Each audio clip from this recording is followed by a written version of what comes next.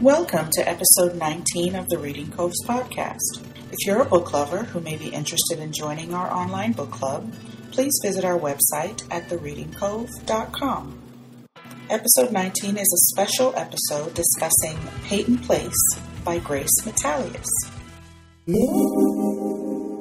And I think she was trying to be bold and be like, you know what, everybody needs to just say say how it is rather Yes. than And I liked that. I like that about this book and about, you know, how the author um, told the story because it was bold and it was like call a spade a spade, tell it like it is, exactly like you just said. And I think, you know, she wanted to, you know, like when she opens it talking about Indian summer, Mhm. she was basically she was pulling the skeletons out of the closet for New England. right. That's how it felt to me. Like, mm, know, she's priming the reader. When they first got involved, he slapped her, and we were like talking about how it's Fifty Shades of Grey and Peyton Place, or Fifty Shades of Peyton Place, and then it it goes away. They he they become this normal couple, and I'm like, well, what was that about? It's like he slapped her and she liked it, and then you never hear anything more about it. It's not like I thought, okay, he's gonna be abusive or something like that, but no, their relationship was fine. Yeah, I, I, I mean, I, I kind of got the Fifty Shades of Grey connection a little bit with that, but no, I mean, I figure maybe Fifty Shades is kind of like the new Peyton Place, except with just two people, because it, it hit something like, okay, we don't read about S and M. Uh, Right. Was the first time that they got together, Together, and I, yeah. I don't think they were married yet. And that just came out of nowhere, and I'm like, oh, because at first when I him following her around town and pursuing her at her shop, at her store, I thought that was endearing. You know, like, oh, he really likes her. Okay, he's he's he's coming after you. But then when the slap happened, I thought, okay, that that throws it in a different light. Like, oh, he's a stalker. I think even at that, and I keep forgetting what date I'm reading, so I think at that time that was even allowable. Nellie, who was just like I said, the most warped character I think I've ever read. Because and and I say that mainly because of how she spoke about Lucas and how he's a good man because he didn't go around giving the clap to anybody but his own wife.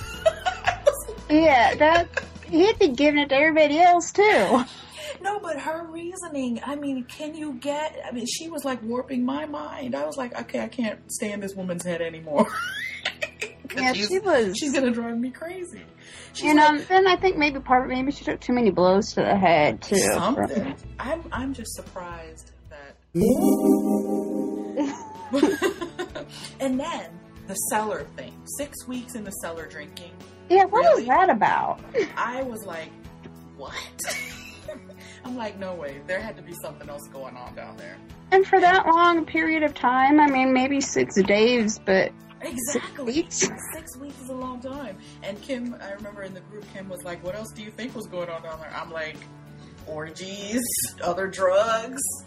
but six whole weeks? That's And then over a month. yeah, and even if people that are getting, they're not out of it for that long a period of time. Weren't aren't the families wondering?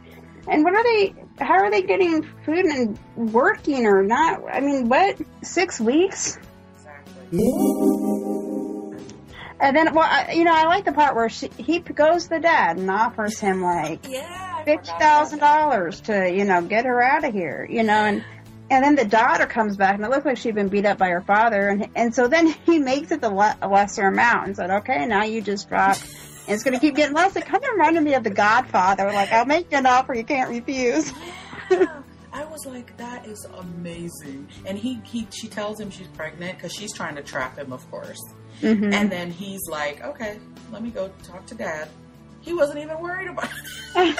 he was like, I know my dad will take care My of it. dad will take care of this because you're, you know, her father. That part didn't bother me quite as much as the whole clap thing. I mean, really, did we really need that description of this clap draining out of Nellie? I mean, I was so grossed out. it was just way too much for me. It's like like, yes, it's disturbing hearing him describe raping his underage daughter. I'm not saying it's not, and, and I don't even think they're comparable. Really, it's like two different types of gross out. gross out. Yeah, I'm fine with that kind. Of, I mean, I'm one of those like to. It's like I don't like reading about incest and rape of children. I just yeah, it's disturbing for a lot of people, and it's it's in this book in spades. I mean, and she gets pregnant. Uh, you know, uh, of course, this is a spoiler-filled discussion. Our podcast is for people who've read the book. But um, yeah, she Selena gets pregnant, and my favorite character was Doc. I really liked him. I thought he was an upstanding man and probably the best person in the town of Peyton Place. And how he helped Selena, that was just you know amazing because you know had that gotten out, I really don't know what would have happened. Yeah, I, I don't know. I think. I think he should have reported it. You know, instead of just threatening him, I think he should have I think as a doctor, he's he's got the the not the the responsibility of reporting abuse. I agree with that, but I also think it goes. I saw it more as being in keeping with the whole veneer of New England. You know what I mean? He mm-hmm. he handled it in his way without just bringing disgrace to the